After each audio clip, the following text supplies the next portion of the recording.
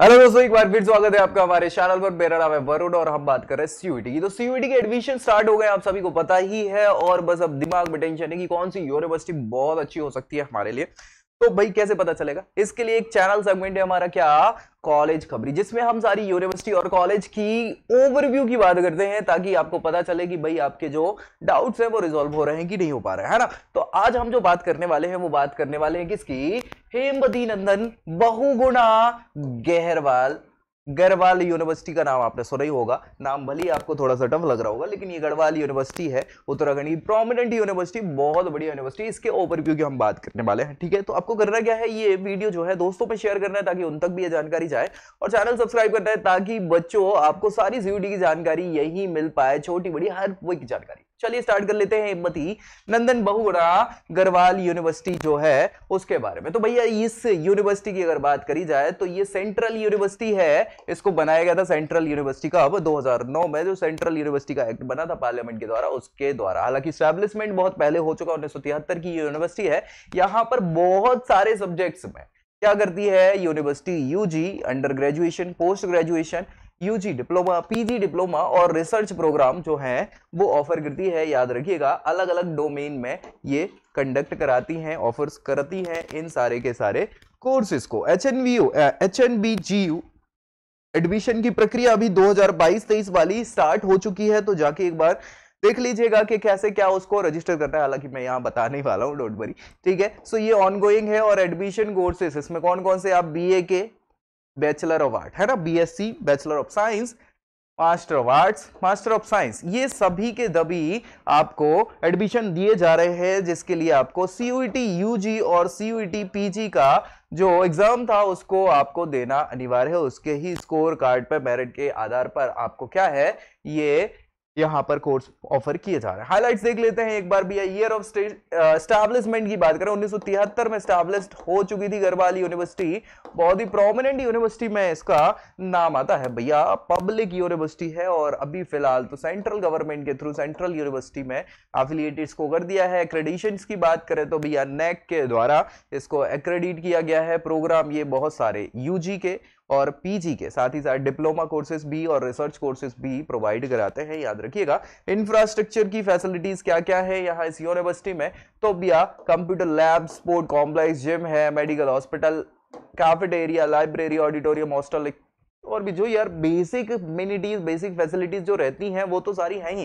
ठीक है? दो सौ अड़सठ एकड़ में भैया आपका ये भव्य कैंपस फैला हुआ है। लोकेशन की बात करें तो उत्तराखंड इंडिया में ये गढ़वाल यूनिवर्सिटी जो है, ये स्टाब्लिश है, याद रखिएगा। स्कॉलरशिप्स जो बहुत सारी प्रोवाइड की जाती है तो हेमवती नंदन बहुड़ा गढ़वाल यूनिवर्सिटी जो है, इसकी अगर बात करें तो भैया स्कॉलरशिप ये अपने अपने एप्लीकेंट को, बहुत सारे एप्लीकेंट्स को जो यूनिवर्सिटी में छात्र अध्ययनरत हैं, उनके लिए अलग अलग प्रकार की स्कॉलरशिप प्रोवाइड करी जाती है। जैसे अगर बात कर ले तो यहाँ बच्चों की अकेडमिक प्रोफेशन परफॉर्मेंस को देख के यहाँ बहुत सारी स्कॉलरशिप दी जाती है। मेरिट बेस्ड है, कुछ इकोनॉमी इकोनॉमिक अगर बैकवर्ड लोग हैं भाई, जिनके परिवार की इनकम कम है, उनके बेस को देखते हुए भी यहाँ पर बहुत सारी स्कॉलरशिप प्रोवाइड करी जाती है। स्कॉलरशिप की अगर बात करें तो बहुत सारी हैं, जैसे कि सबसे पहले मेरिट स्कॉलरशिप है यहाँ पर, किसके लिए? बी स्टूडेंट्स के लिए। है ना मेरिट मतलब आप अगर टॉप में आते हैं यहाँ यूनिवर्सिटी में तो आप इसके लिए क्वालिफाई हो जाते हैं और आपको ये स्कॉलरशिप प्रोवाइड करी जाती है। यहाँ पे छह बच्चों को ये स्कॉलरशिप प्रोवाइड करी जाती है, जो क्या है, टॉप पोजीशन स्कोर करते हैं, एंट्रेंस एग्जामिनेशन में जो यूनिवर्सिटी क्या है कंडक्ट कराती है। याद रखिएगा, और इसमें दो सौ रुपए आपको मंथली बेसिस पर दिए जाते हैं, ये स्कॉलरशिप है। मेरिट बेस जो बीपीएल स्टूडेंट के लिए है बिलो पॉवर्टी लाइन वाले, जो गरीब तबके के लोग हो जाते हैं, उनके लिए स्कॉलरशिप प्रोवाइड करी जाती है। पंद्रह सौ रुपए प्रति माह की ये बीपीएल कैटेगरी के बच्चों के लिए दी जाने वाली स्कॉलरशिप हो जाती है। Shri Kalyaneshwar temple scholarship. ये भी ये प्रोवाइड करी जाती है किसके लिए? माइनॉरिटीज के लिए और इकोनॉमिक बैकवर्ड क्लास के जो लोग हैं, उन्हें यूजी और पीजी कोर्सेज के लिए ये स्कॉलरशिप यहाँ पर प्रोवाइड करी जाती है। दूसरी एक और स्कॉलरशिप है श्रीमती शांति देवी सालीग्राम भट्ट स्कॉलरशिप है ये और ये भैया तीन स्टूडेंट को दी जाती है हर साल। याद रखिएगा, इसमें दो वो स्कॉलरशिप हैं जिसमें स्टूडेंट यूजी और पीजी करिकुलम के लिए रहेगा फेलोशिप के लिए भी ये जो स्कॉलरशिप दी जाती है। उस फेलोशिप में बात करें तो मास कम्युनिकेशन के एक बच्चे ने 60 प्रतिशत और 50 प्रतिशत मार्क रिस्पेक्टिवली क्या है? इनके आने चाहिए। उसके साथ ही यहाँ पर साठ हज़ार रुपए पर एनम की ये स्कॉलरशिप दी जाती है। बच्चों को, तीन बच्चों को याद रखिएगा। चलिए कोर्सेज और फ़ी की बात कर लें। यहाँ पर इस यूनिवर्सिटी में, गढ़वाल यूनिवर्सिटी में क्या क्या कोर्सेज हैं और क्या क्या एलिजिबिलिटी चाहिए? तो बी ए यानी बैचलर ऑफ़ आर्ट्स के लिए तीन साल का ये प्रोग्राम है, हमें पता है। और इसके लिए आपको बारहवीं कक्षा में क्या है भैया? मार्क्स स्कोर करने पड़ेंगे। 50 परसेंट का है क्राइटेरिया लगभग, और सीयूईटी के स्कोर कार्ड के बेसिस पर आपको यहाँ एडमिशन मिल जाएगा। एलएलबी प्रोग्राम आप करना चाह रहे हैं बैचलर ऑफ़ लॉ की बात चल रही है। थ्री ईयर का है ये प्रोग्राम और भैया यहाँ भी ट्वेल्थ में आपको क्या है मार्क्स लाने पड़ेंगे, और सीयूईटी स्कोर के बेसिस पर यहाँ पर आपको क्या होगा, ये कोर्स ऑफ़र किया जाएगा। बी फार्मा कोर्सेज आप करना चाह रहे हैं बैचलर ऑफ़ फार्मेसी की बात चल रही है यहाँ पे। तीन साल का ये प्रोग्राम है। यार ये बी फार्मा तीन साल नहीं है, चार साल का प्रोग्राम होता है, याद रखिएगा। ठीक है?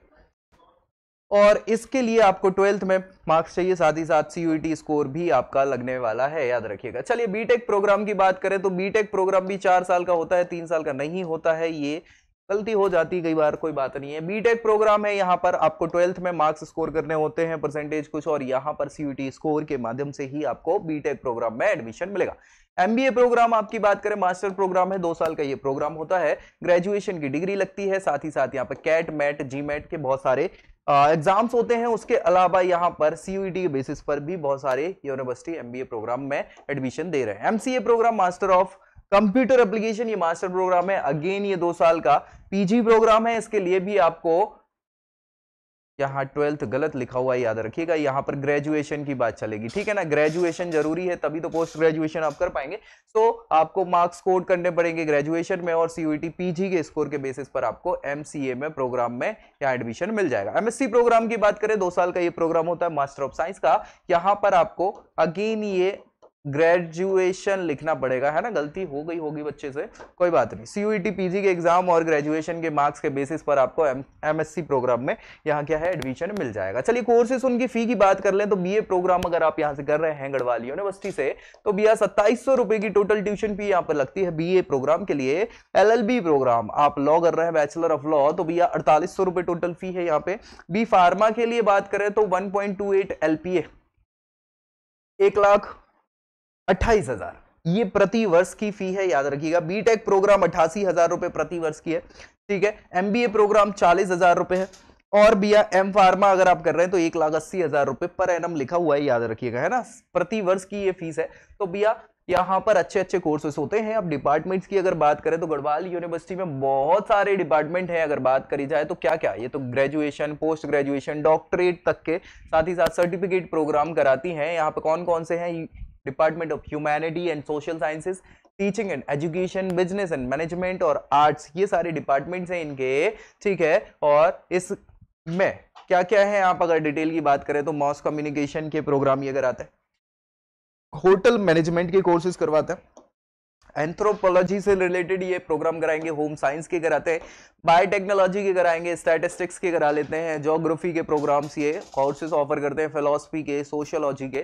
तो ये बेसिक बेसिक इनके मेन प्रोग्राम्स है जो ये ऑफ़र करते हैं इस पर्टिकुलर फ़ील्ड के। एडमिशन की बात और कर लेते हैं तो कैसे क्या एडमिशन होगा? मान लीजिए बी में आप एडमिशन लेना चाह रहे हैं बैचलर ऑफ़ आर्ट प्रोग्राम करना चाह रहे हैं तो कैंडिडेट्स को हमें पता है कि बी बारहवीं पास होनी चाहिए और इक्विवेलेंट उसके क्वालिफिकेशन होनी चाहिए। साथ ही साथ आपने क्या करना होगा कि यहाँ पर सीयूईटी एग्ज़ाम देना मस्ट होगा। बीकॉम के लिए भी सेम टू सेम है कि भैया बारहवीं पास होना चाहिए, उसके इक्वलेंट आपको पास होना चाहिए और यहाँ पर भी आपका सीयूईटी लगेगा, पक्की बात है। बीएससी प्रोग्राम आप करना चाह रहे हैं बैचलर ऑफ़ साइंस के लिए अगर आप कर रहे हैं तो भैया आपको ट्वेल्थ पास होना चाहिए, उसके इक्वलेंट पास होना चाहिए और साथ ही साथ यहाँ पर, क्या भैया सीयूडी का एग्ज़ाम लगने वाला है? अगर लॉ करना चाह रहा है बैचलर ऑफ़ लॉ की बात चली है तो भैया यहाँ भी ट्वेल्थ पास होना चाहिए पीसीएम और पीसीबी से, और इंग्लिश कंपलसरी यहाँ पर सब्जेक्ट के रूप में आपका होना चाहिए। उसके बाद सीयूडी का एग्ज़ाम और तब जाके एलएलबी आपको कोर्स ऑफ़र हो पाएगा। बी फार्मा कोर्सेज अगर आप करना चाह रहे हैं तो भैया यहाँ इसके लिए ट्वेल्थ पास होना चाहिए, है ना? बी फार्मा अभी बैचलर कर रहे हैं तो टेन प्लस टू आपका पास होना चाहिए रिकॉग्नाइज कॉलेज से स्कूल से। बेसिकली ठीक है? एम फार्मा होता तो यहाँ ग्रेजुएशन की बात चलती। चलिए बीएड प्रोग्राम अगर आप करना चाह रहे हैं तो बीएड तो तभी होगा जब आपकी ग्रेजुएशन हो जाएगी, ठीक है? सो ग्रेजुएशन के बाद आपको यहाँ पर सीयूटी पीसी का एग्ज़ाम भी देना पड़ेगा। अगर बैचलर ऑफ़ लाइब्रेरी अगर आप करना चाह रहे हैं बी तो भैया यहाँ पर आपको क्या होगा? ये एम लिब है। बी लिब के लिए आपको ट्वेल्थ ठीक है? बीबीए अगर आप करना चाह रहे हैं तो भैया ट्वेल्थ पास होना चाहिए, ठीक है ना? इक्विवेलेंट क्वालिफिकेशन होनी चाहिए और सीयूईटी का एग्ज़ाम भी आपका ज़रूरी है तो ये सारे के सारे एडमिशन आप यहाँ पे ले सकते हैं। रैंकिंग की बात कर ले तो गढ़वाल यूनिवर्सिटी की रैंकिंग अलग अलग समय पर एड्यू रैंक एड्यू रैंक जो रैंकिंग प्रोवाइड करते हैं, उनकी अगर बात करें तो उन्होंने यहाँ पर गढ़वाल यूनिवर्सिटी को चार फोर्थ रैंक दी थी।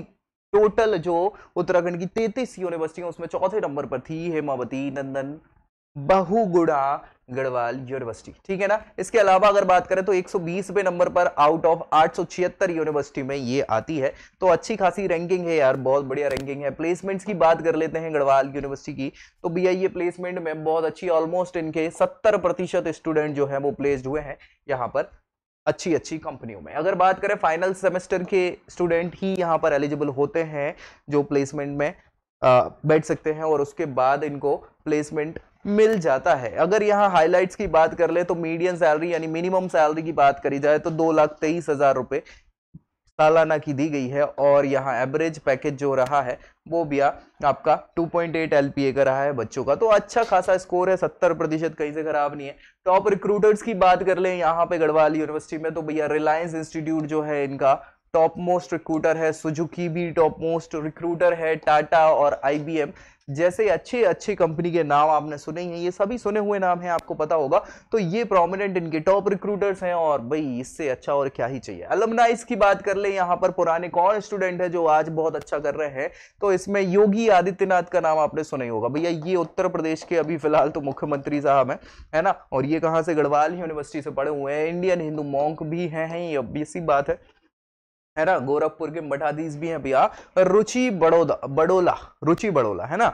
वरुण बडोला का नाम सुना ना, वैसे रुचि बडोला है ये ये इंडियन बॉर्न प्रोफेसर हैं और साइंटिस्ट हैं wild life institute of India में काम कर रही है। ठीक है, रमेश पोखरियाल पोखरियाल साहब का नाम तो आपने सुना ही होगा, अगर थोड़ा बहुत भी आप राजनीति में इंटरेस्ट रखते हैं तो ये फॉर्मर मिनिस्टर ऑफ़ एजुकेशन हुआ करते थे भारत के एजुकेशन मिनिस्टर थे रमेश पोखरियाल साहब, ये भी यहीं से पड़े हुए हैं। चंद्रशेखर आज़ाद, रावण का नाम आपने सुना होगा, ये बिया आपने को फाउंडर आपने भीम आर्मी का नाम सुना होगा और भीम आर्मी की ये को फाउंडर और प्रेसिडेंट रहे हैं। अभी कुछ समय पहले तक जब आ, बहुत ज़्यादा नाम था भीम आर्मी का है ना? हमने डिस्कस भी किया था। धन सिंह रावत धन सिंह रावत साहब की बात करें तो भैया ये member of Uttarakhand legislative assembly के मेंबर हैं तो ये भी यहीं से पढ़े हुए हैं इसी गढ़वाल यूनिवर्सिटी से पढ़े हुए हैं। तो भाई बहुत ही प्रोमिनेंट लोग बाग हैं जो यहाँ से निकले हुए हैं अच्छा काम कर रहे हैं। तो इससे अच्छा और क्या ही चाहिए? फैसिलिटीज़ की बात करें तो बेसिक फैसिलिटीज़ जो एक यूनिवर्सिटी में होनी चाहिए, वो सभी हैं। कंप्यूटर लैब्स हो गई sports gym medical hospital cafeteria library auditorium hostel facility और लेबोरेटरी ये सभी की सभी फैसिलिटीज़ जो होनी चाहिए। भैया, इनके बिना तो कैसे एक यूनिवर्सिटी चल पाएगी? तो सारी यूनिवर्सिटी में ये फैसिलिटीज़ तो होती है। और इसी के साथ भैया, हमने जो डिस्कस किया, वो पूरा का पूरा क्या बात कर ली? हेमवती नंदन, बहुगुणा गढ़वाल यूनिवर्सिटी है ना? सो so, अब भी आपके दिमाग में गढ़वाल यूनिवर्सिटी का अगर कोई डाउट रह गया हो तो प्लीज़ कमेंट कर दीजिएगा और दोस्तों में शेयर ज़रूर कर दीजिए इस वीडियो को ताकि उन तक भी ये खबर पहुँचे और भैया वो भी एक अच्छी यूनिवर्सिटी में एडमिशन ले पाए। और याद रखिएगा ये गढ़वाल यूनिवर्सिटी में अभी एडमिशन प्रक्रिया चल रही है तो अगर आप इसमें एडमिशन लेना चाह रहे हैं तो भैया वो पूरी डिटेल्स वहाँ की ऑफिशियल वेबसाइट पर आपको मिल जाएगी। वहाँ से फॉर्म को फिलअप करना है और सारी की सारी जानकारी के साथ आप आगे बढ़ सकते हैं सीट मैट्रिक्स वगैरह आपको। प्रोवाइड कर दी जाएगी कौन सी सीट एलोकेट हो रही है फ़ी वगैरह पे कर देना अगर आपको लगता है वहाँ जो मिल रही है तो तो मिलते हैं अगले वीडियो में अगली यूनिवर्सिटी की जानकारी के साथ तब तक के लिए हमें क्या करना है ये वीडियो को शेयर ज़रूर करिए चैनल सब्सक्राइब करिए ताकि सीयूटी की हर खबर आपको यही मिल जाए और बस तब तक के लिए I hope you like this video. For more such videos, keep watching our channel and do not forget to like, share and subscribe.